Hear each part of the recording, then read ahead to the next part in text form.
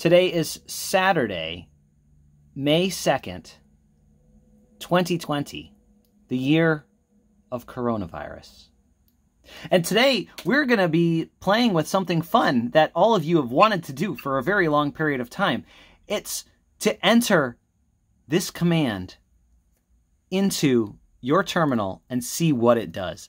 This is the sudo rm rf and I can't remember if it's the slash star or it's the star slash command.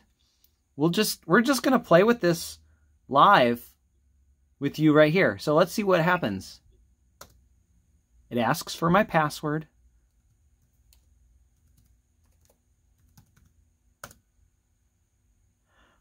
That was the command.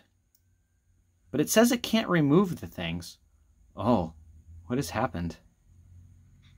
The fan is spinning up. There's some stuff at the top. It says failed to create new system journal, no such file or directory. No such file or directory. Did we just mess up?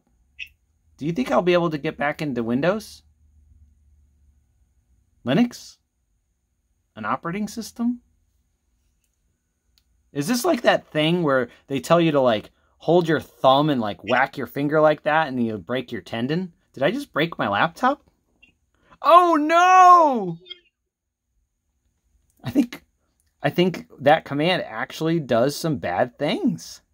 We're going to turn it off. We're going to turn it back on. I've always been curious because I've got another operating system to install on here.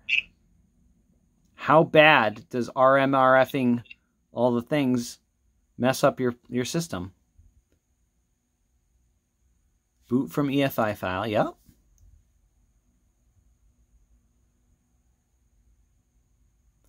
Oh, wow. We done a hoop the jupe. There's still something here, but I'm not sure that there is as much here as we can recover. So, folks, that is what RMRF does to your computer. Be warned.